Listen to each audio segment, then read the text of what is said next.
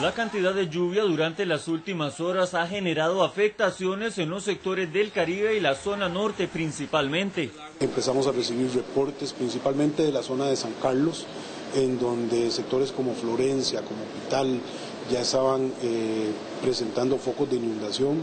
De hecho, en sectores como en Santa Rita, en Santa Clara, hubo necesidad de empezar a, a evacuar gente de algunos puntos muy específicos.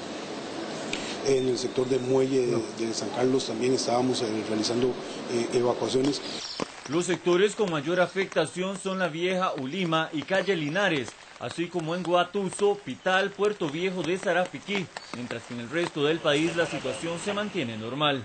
Las condiciones, eh, tenemos lluvias, por ejemplo en la zona sur, eh, se nos está reportando que se han mantenido condiciones lluviosas no fuertes, sino de leves a moderadas. Eh, lo que estamos eh, procurando es a nivel de todo el país mantener un monitoreo de las condiciones, principalmente de los ríos, eh, para evitar una mayor afectación.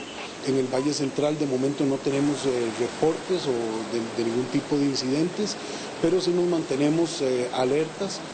En los lirios de Puerto Viejo ya se evacuaron 15 familias quienes fueron trasladadas a Fraijanes de Alajuela. Las principales vías de acceso nacional no escapan a las lluvias y ya se reportan varios cierres. Así lo indicó el director ejecutivo del CONAVI, Carlos Acosta. Sí tenemos desafortunadamente cierres totales en el sector de San Rafael de Guatusa, en el río La Muerte, en el río Frío, eh, producto precisamente de que las aguas sobrepasaron las, eh, los niveles del puente. Eh, tenemos también algunos cierres producto de, de un derrumbe y algunas eh, inundaciones en el sector de Pocosí, en la ruta Puerto Lindo, en las rutas hacia, hacia la costa atlántica del país. Atlántica Norte y esos son básicamente lo que tenemos como cierres. Importante señalar que en Pocosí se presentaron deslizamientos, mientras que en San Isidro solo reportan derrumbes.